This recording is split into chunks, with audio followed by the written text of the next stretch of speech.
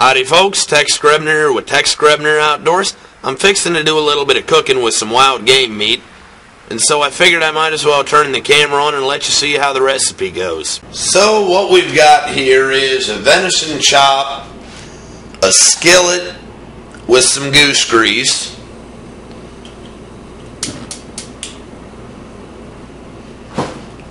just gonna start the goose And I'm going to season this with some Cajun Cowboy.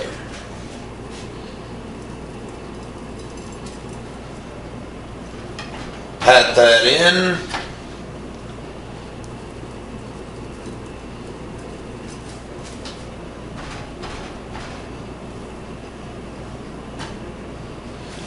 Now just let it set till our goose grease gets a little bit heated up. So now the plan is we take our venison chop, put it into the goose.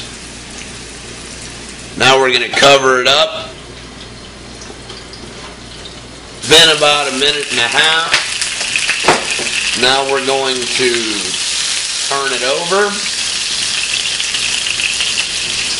You're going to want to do this on pretty low heat so that you don't scorch your chop. We've had it on the heat for about five minutes. Turn it off, take off the top. So we're going to take our green stuff here and we're just going to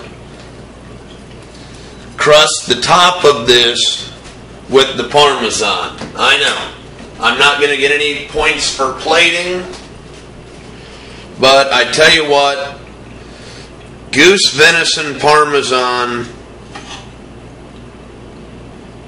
pretty amazing.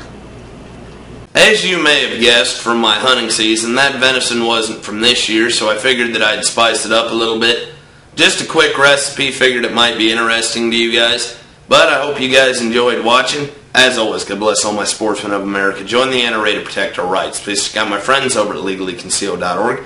Thank you very much to those of you involved in law enforcement and those who serve in the military. And thanks for watching Tex Grebner Outdoors.